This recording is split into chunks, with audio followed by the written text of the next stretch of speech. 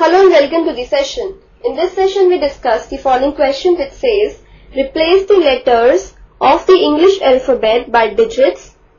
Two or more letters may have the same value to complete the procedure of division. We are given this procedure of division. Now let's move on to the solution. This is the procedure of division given to us.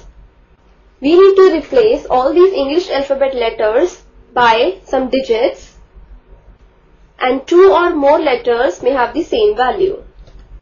Now you can see that in the quotient we have 1 here and here we have 28 and we know that 28 multiplied by 1 is equal to 28. So this would mean that here in this divisor we have 28. That is we have AB is equal to 28 or you can say A is equal to 2, B is equal to 8. We write 28 here that is 28 multiplied by 1 gives us 28. Thus we get A equal to 2 and B equal to 8. Now next, in place of C, we should have some number such that its difference with 8 gives us 5. We know that 13 minus 8 is equal to 5. So in place of C, we should have 3. Now this 1 would be subtracted from this 4. This gives us 3 and now we subtract this 2 from 3 which gives us 1. So in place of H we would have 1. So now we have got the values for C and H also. C is 3, H is 1. Now we have got the remainder as 15 and we take down the next digit.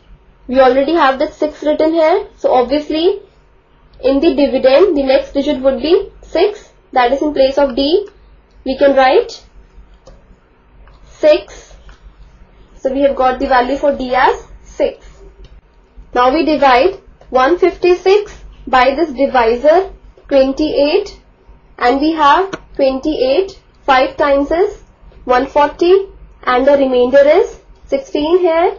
So in the question we would write 5 here in place of F we write 5 that is we get the value of f as 5 and we write 140 in place of ijk.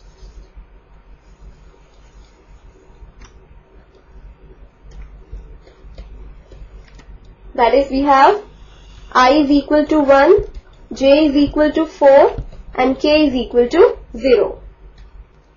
Now 156 minus 140 gives us 16. So, in place of LM, we can write 16.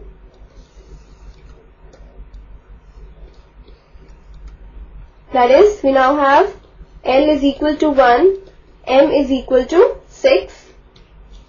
We know that 28, 6 times is 168.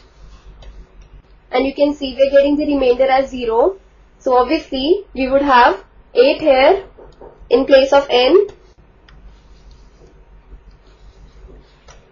So in place of n we put 8 and in place of g we would have 6 because 28 6 times is 168. Thus we get g is equal to 6 and also n is equal to 8 and obviously this digit E would be same as 8. So in place of E, we write 8. That is the value of E is 8. Now obviously PQR would be 168 since its remainder is 0. So we write here 168.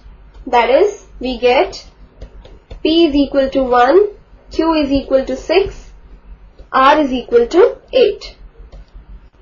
So we have found the value for all the English alphabets used in this process of division. So this completes the session. Hope you have understood the solution for this question.